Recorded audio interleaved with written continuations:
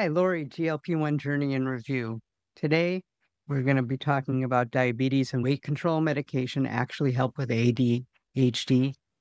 That's the surprising question. More and more people are asking about GLP 1s like Ozempic, Wegovy, Mounjaro, and Zepbound. At first glance, these medications have nothing to do with focus, impulsiveness, or attention. But what if I told you there was growing buzz that even some early science that suggests they may actually help certain ADHD symptoms. In this video, we'll explore why some people are with ADHD are turning to GLP-1s and what the research says and whether it's hype or if there's a real connection. Let's start with the obvious. GLP-1 medications, they're not designed for ADHD.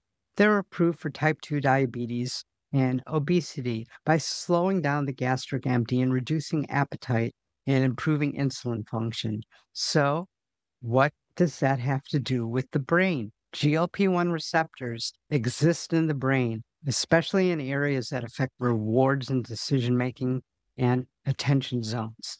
Animal studies show GLP 1 medications can influence the dopamine pathways, which are central to ADHD. GLP 1 agonists also appear to reduce inflammation in the brain, improving executive function, which includes things like focus, planning, and impulse control. For people with ADHD, where dopamine function is often impaired, this has opened up a whole new area of curiosity. So, what does the research actually say?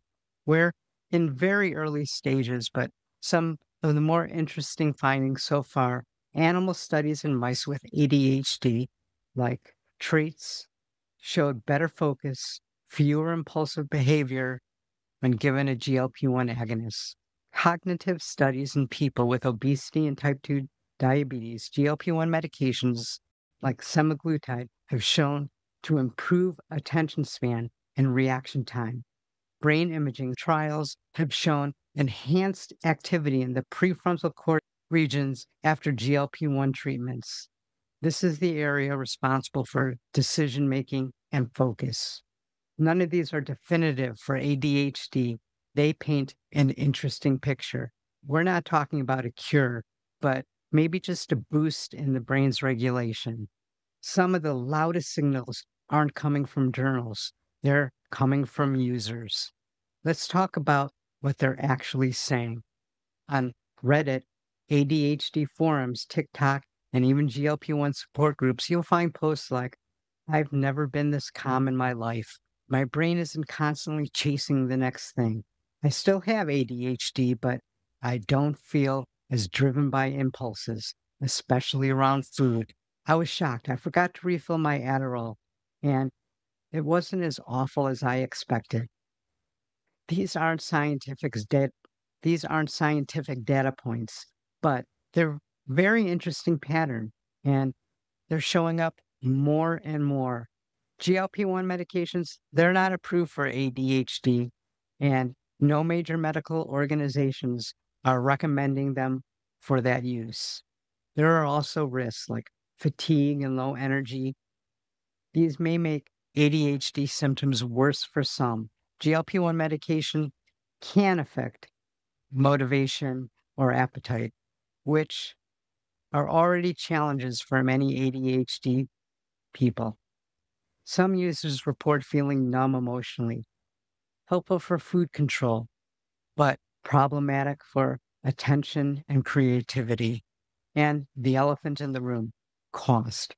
Off label GLP 1 use can be extremely expensive and it isn't covered for ADHD. ADHD often comes with coexistent conditions like binge eating disorders, anxiety, depression, insulin resistance. GLP 1 medication may help with these, even if they weren't intended to treat ADHD itself.